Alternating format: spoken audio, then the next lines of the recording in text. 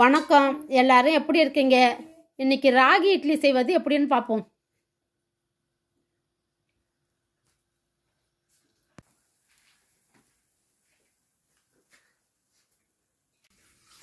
கேழ்வரகு இட்லி செய்ய ஒரு கப்பு கேழ்வரகு எடுத்துருக்குது.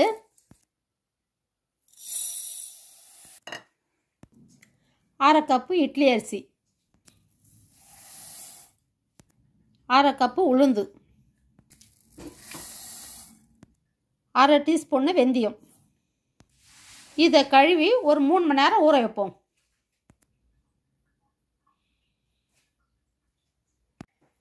இப்போ நல்லா ஊறி போச்சு வந்து இதை இப்போ நம்ம கிரைண்டரில் போட்டு அரைச்சி எடுத்துக்குவோம்.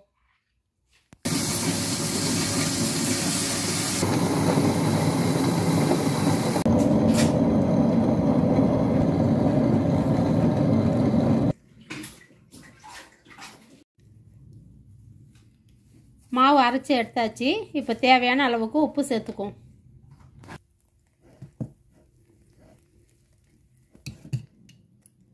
இந்த மாவை வந்து ஒரு நைட் அப்படியே புளிக்க வச்சு காலைல எடுத்து இட்லி ஊற்றுவோம் மாவு புளிச்சிருச்சு. இப்போ எடுத்து நம்ம இட்லி ஊற்றிக்குவோம்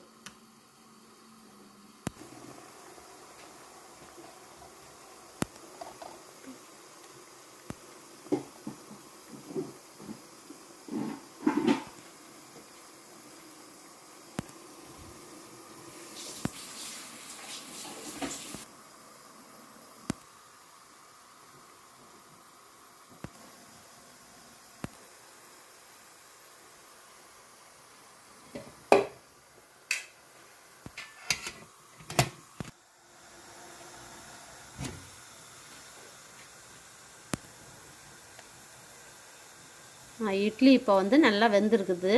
அதை எடுத்துடுவோம்.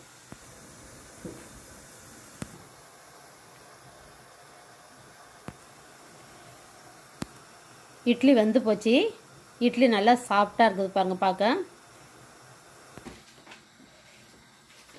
நீங்களும் செஞ்சு பார்த்துட்டு எப்படி இருக்குன்னு கமெண்ட் பண்ணுங்கள் லைக் பண்ணுங்கள் ஷேர் பண்ணுங்கள் சப்ஸ்கிரைப் பண்ணுங்கள் மறக்காமல் பெல் பட்டனே அழுத்துங்க.